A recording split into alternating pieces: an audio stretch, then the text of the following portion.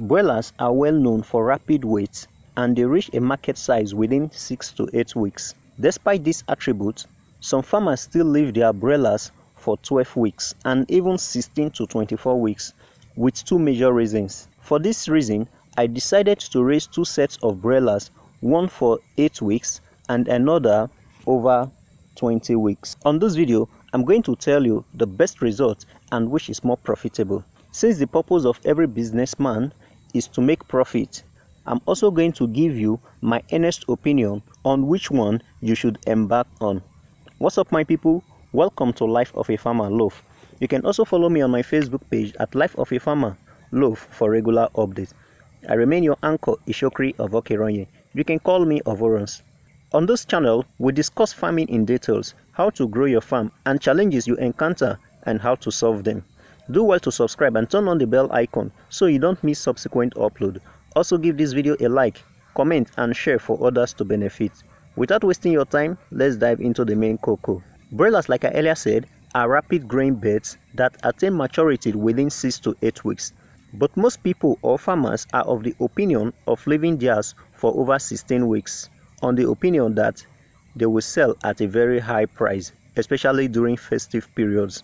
Based on this, I decided to try an experiment to know the profit margin if it's worth venturing into. We all know that the purpose of every business is to make profit and not for charity. What actually happened is that we have some leftover broilers that are the last batch after sales and there are about 76 left out of 500 broilers. These birds didn't grow as expected like others and not that they are bad but they are just the last batch. So we decided to leave them and eventually we left them for Xmas market and by calculation they exceeded 24 weeks because the laying birds which they came together with are laying already before the Xmas. By and large, they were 25 weeks by Xmas. Because of my intentions, I decided to take note of cost of drugs, vaccinations and feed for this period, which I will reveal shortly. On the other hand, we have 100 broilers which are targeted to be 8 weeks by Xmas and these two sets of birds were given same feed type. By the time the 76 broilers got to 11 weeks, I made changes to their feed. They were consuming almost one bag of finisher and I decided to give them grower mash. Even with the grower mash, they were eating almost a bag when there is light at night. I did a rough calculation and in 10 days, they will consume almost 10 bags. Looking at the increasing cost of feed, there was no way we will make profit from it and I decided to introduce the skip a day diet for them. Meanwhile, the 100 birds for 8 weeks are doing just fine because we already have the feed that they will consume for the period of 8 weeks. In my subsequent video, I will upload my observation for raising broilers to exceed 8 weeks. By week 18, these birds were consuming far more feed and I did a rough calculation and if I'm to continue, there is no way customers will buy one broiler for 25 to 30,000 naira. This prompted me to take another step towards reducing the feed. Though they were doing fine, but I wasn't impressed because within me, I know I'm running at loss but I want to get to the end before concluding.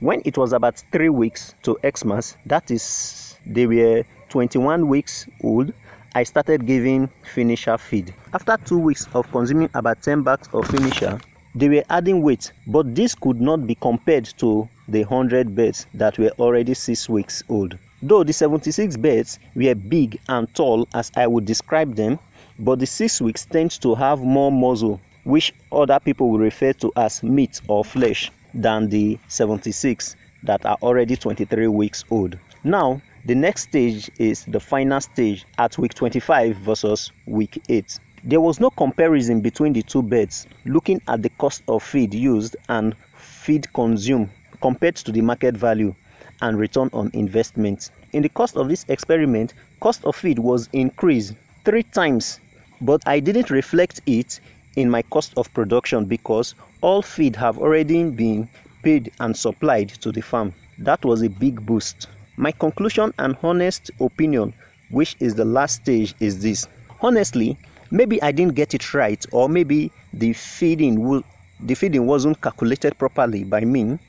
At the point of sale, at the market, while the 8 weeks was sold for a range of 12,000 to 15,000 naira per bed, same amount was being priced for the 25 weeks old. Only about 4 were sold for 20,000 naira and 3 were sold for 18,000 naira. All others were sold for same price as 12 to 15,000 naira range. By the end of the day, I couldn't realize profit from the 25 weeks old broilers as all the money went for feed and drugs and about 9 were lost due to some unforeseen challenges. If I had not manipulated the feed and I decided to feed them as they eat, I'm 100% sure that it would have been 100% loss of capital. Whereas the 100 broilers of 8 weeks were sold and roughly 3,000 to 6,000 were realized per bed for a period of 8 weeks. My question now is if farmers do their calculation of money they spent on feed and medication for broilers older than 8 weeks, I'm very sure they won't venture into such because two things are involved.